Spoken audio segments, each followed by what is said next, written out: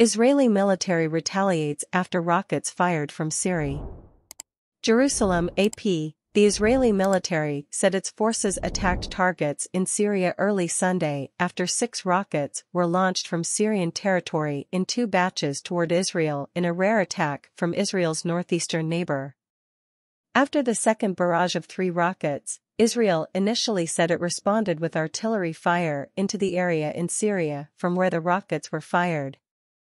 Later, the military said Israeli fighter jets attacked Syrian army sites, including a compound of Syria's 4th Division and radar and artillery posts. The rocket firings came after days of escalating violence on multiple fronts over tension in Jerusalem and an Israeli police raid on the city's most sensitive holy site. In the second barrage, which was launched early Sunday, two of the rockets crossed the border into Israel, with one being intercepted and the second landing in an open area, the Israeli military said. In the first attack, on Saturday, one rocket landed in a field in the Israeli-annexed Golan Heights. Fragments of another destroyed missile fell into Jordanian territory near the Syrian border, Jordan's military reported. There were no reports of casualties. A Damascus-based Palestinian group loyal to the Syrian regime claimed responsibility for launching the three missiles Saturday, reported Beirut-based Al Mayadeen TV. The report quoted Al-Quds Brigade, a militia different than the larger Palestinian Islamic Jihad's armed wing with a similar name, as saying it fired the rockets to retaliate for the police raid on Al-Aqsa Mosque. In Syria, an advisor to President Bashar Assad described the rocket strikes as part of the previous, present and continuing response to the brutal enemy. Israel, which has vowed to stop Iranian entrenchment in Syria, has carried out hundreds of strikes in government-controlled parts of that country in recent years, though it rarely acknowledges them. Before the latest strikes, Syrian officials had attributed 10 attacks to Israel this year, some of which put the Damascus and Aleppo airports temporarily out of service and killed civilians as well as Syrian soldiers and Iranian military advisors. In the occupied West Bank, Israeli security forces fatally shot a 20-year-old Palestinian in the town of Azan, Palestinian health officials said, stirring protests in the area. The Israeli military said troops fired at Palestinians hurling stones and explosive devices. The Palestinian Health Ministry identified the Palestinian killed as Eid Salim. His death came at a time of unusually heightened violence in the West Bank. Over 90 Palestinians and have been killed by Israeli fire so far this year, at least half of them affiliated with militant groups, according to a tally by the Associated Press.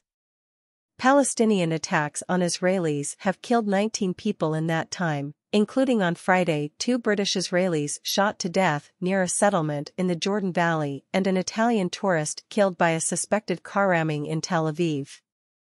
All but one were civilians. The rocket fire from Syria comes against the backdrop of soaring Israeli-Palestinian tensions, touched off by an Israeli police raid on Jerusalem's most sensitive site, the sacred compound home to the Al-Aqsa Mosque that outraged Palestinians marking the holy fasting month of Ramadan and prompted militants in Lebanon, as well as Palestinian militants in the Gaza Strip, to fire a heavy barrage of rockets into Israel.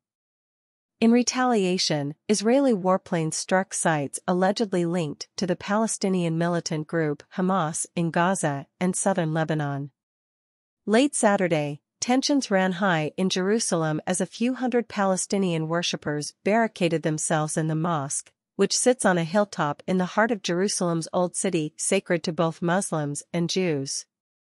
Israeli police efforts to evict the worshippers locked in the mosque overnight with stockpiled firecrackers and stones spiraled into unrest in the holy site earlier this week. The latest escalations prompted Israeli Defense Minister Yoav Gallant to extend a closure barring entrance to Israel for Palestinians from the occupied West Bank and Gaza Strip for the duration of the Jewish holiday of Passover, while police beefed up forces in Jerusalem on the eve of sensitive religious celebrations. In a separate incident in the northern West Bank city of Nablus late Saturday, a leader of a local independent armed group known as the Lion's Den claimed the group executed an alleged Israeli collaborator who had tipped off the Israeli military to the locations and movements of the group's members. Israeli security forces have targeted and killed several of the group's key members in recent months. The accused man's killing could not be immediately confirmed, but videos in Palestinian media showed medics and residents gathered around his bloodied body in the Old City, where the Lion's Den holds sway. Traitors have neither a country nor a people, Lion's Den, Commander Odeh Aziza said in a statement. The moves come at a time of heightened religious fervor, with Ramadan coinciding with Passover and Easter celebrations. Jerusalem's Old City, home to key Jewish, Muslim and Christian holy sites, has been teeming with visitors and religious pilgrims from around the world. Gallant said that a closure imposed last Wednesday, on the eve of Passover, would remain in effect until the holiday ends on Wednesday night. The order prevents Palestinians from entering Israel for work or to pray in Jerusalem this week, though mass prayers were permitted at the Al-Aqsa Mosque on Friday. Gallant also ordered the Israeli military to be prepared to assist Israeli police. The army later announced that it was deploying additional troops around Jerusalem and in the West Bank. Over 2,000 police were expected to be deployed in Jerusalem on Sunday, when tens of thousands of Jews are expected to gather at the Western Wall for the special Passover priestly blessing. The Western Wall is the holiest site where Jews can pray and sits next to the Al-Aqsa Mosque compound, where large crowds gather each day for prayers during Ramadan. Jerusalem Police Chief Doron Turgeman met with his commanders on Saturday for a security assessment.